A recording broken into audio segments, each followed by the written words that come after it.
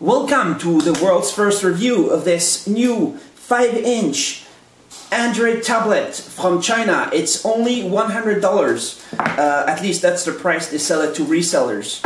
And uh, it's, it's being sold right now for 699 RMB in China. You can see it's a 5-inch Android gingerbread right now. It's a capacitive screen, so it's not bad. You know, it works when you touch. It has uh, all kinds of Android features.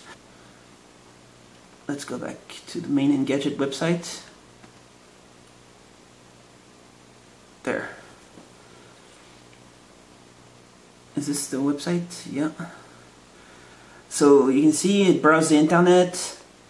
Um, the size, the size difference. Here's the size difference with the 7 inch.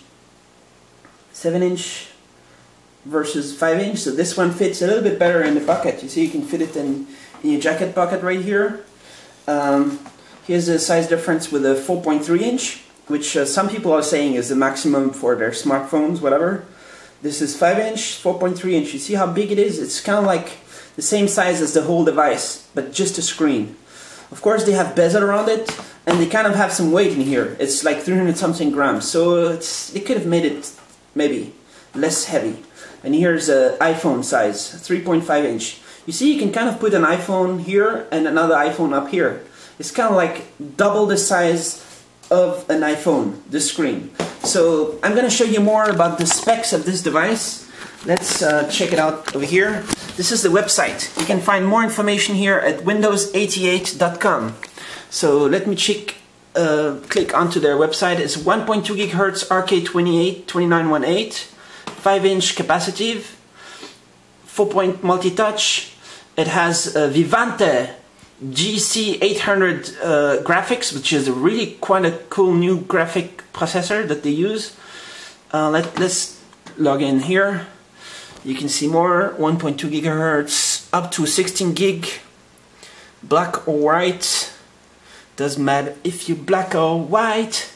And here music 3000 milliamp. This battery is pretty big battery. In here all these videos are playing back. So let me show you some more about. So here's what you get in the box. You get um, headphones, you get a USB cable, and the cool new thing is you can get you get the USB host adapter. So you plug this to US, mini USB, and you can plug in, for example, a 3G dongle. You can plug in that, or you can plug in a keyboard. Plug in a keyboard directly into the device. And uh, here is the USB USB host and a normal USB. So you would connect your keyboard or whatever, just connect it right here. And the charger goes in there, charger here, charger here, and headphones there. And so let me let me try to show you what it can do. So I'm gonna go on the web browser. You see there's a multi-touch is fine, it's fast. I'm going to here and I'm going to try to type in some text.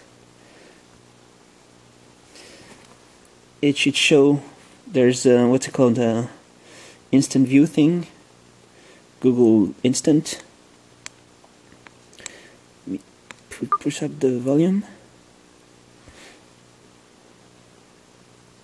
So it's connecting over my Wi-Fi here at home. And here clicking around a little bit. so it's a 1.2 gigahertz uh, ARM Cortex A8.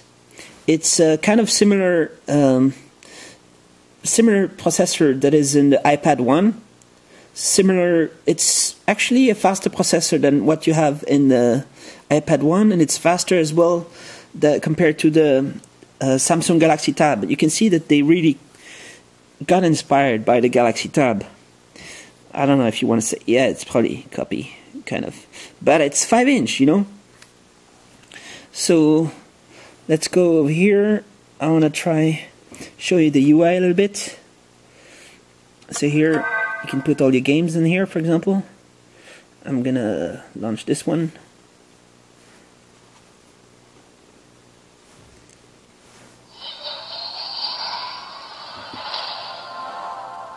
It's gonna take a while to get in. So let's check this game. Let's check out the Vivante 3D graphics.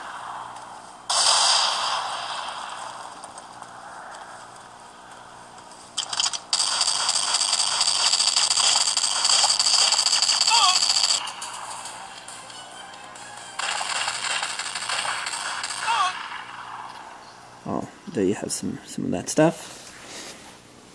I can oh I can run Google Maps.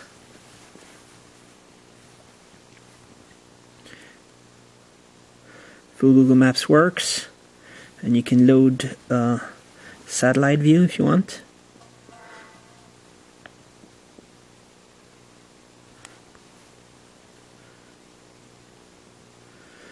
Alright, and uh, let's go back here. So they have this custom home replacement UI, which is kind of similar to some Samsung stuff. Let's go in uh, Angry Birds. You can see that Angry Birds works. It's always important to prove that Angry Birds works. So, loading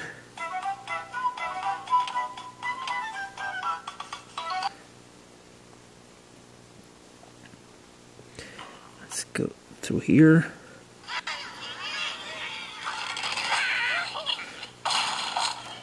So that works quite perfectly. Um, video playback. Ooh, let's go here. Some avatar. Chinese avatar. And uh, the gallery.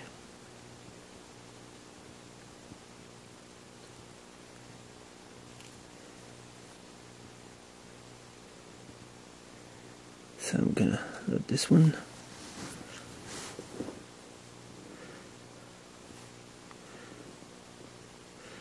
And I go like here. This photo is not very high quality. So go into settings. I can show you that it is actually running gingerbread. And uh, they can probably upgrade this to to ice cream sandwich in the future. So you have games support pretty decent video playback pretty de decent web browser as well. So let's just load another website or two just to check that out. I'm gonna go in the bookmarks. I'm gonna choose one of those. Here CNN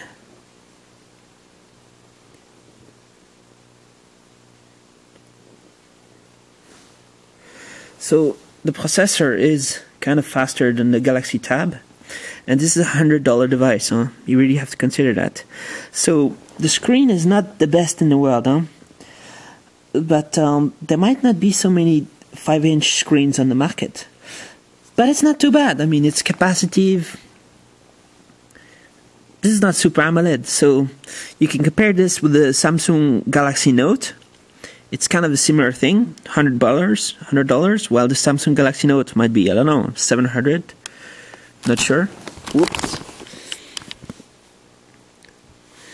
Um, but the main things are well you saw the tablet. It's a 5 inch. Copied they copied the the Samsung Galaxy Tab but I don't know why they did that because that kind of makes it harder for legitimate resellers to sell it in Europe and the US. But they told me they can put this in other designs. They can basically make another exterior if you want. But you have to order a bunch of them and then you can tell them what you want and they will customize the design for you. Here's a speaker. And the price is less than $100. But you have to order like at least 100 pieces, maybe 500 pieces, maybe 1,000. So you just go on windows88.com if you're interested. You talk to them, you tell them if you want it to look like Samsung or not, and they will customize and they will send those. And it's going to be awesome. Like in a month, there's already ice cream sandwich on this RK29. And uh, I like this form factor, like 5 inch. I think 5 inch is quite, is there's a future in 5 inch.